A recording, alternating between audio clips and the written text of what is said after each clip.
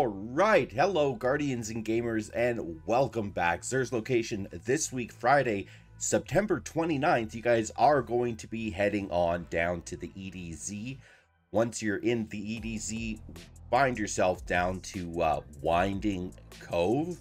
Load on in. Once you're in, jump on your Sparrow and head straight across the map over to the right hand side you're going to see a little road. Head on up there, and immediately off to your left is another little path.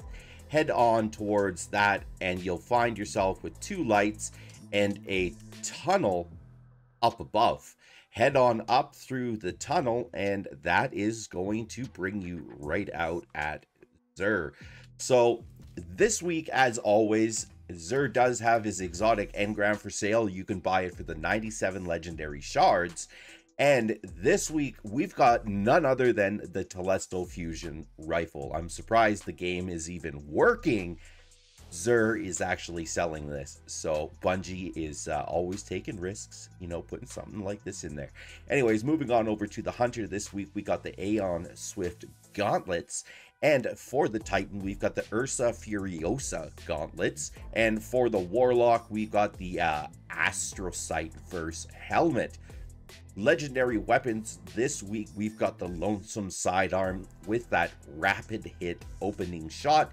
I mean out of everything that's here this is probably going to be your best bet. I mean you know it's it everything's not the best. Anyways uh, we've got the farewell sidearm with uh, moving target and thresh the extraordinary rendition submachine gun with firmly planted as well as multi-kill clip uh, we've also got the IKELOS shotgun with subsistence and trench barrel, the Brigand's Law sidearm with threat detector and Volt shot, uh, the Sail Spy Pitchglass linear fusion rifle with Outlaw and Vorpal, and the recurrent impact machine gun with Genesis and Focused Fury.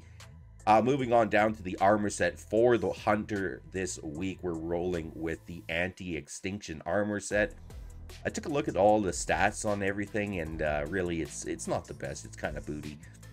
Moving on over to the Hawkmoon and Cannon this week, we're rolling with opening shot. Everybody, if you can do me that favor, hit the like button, hit the subscribe button.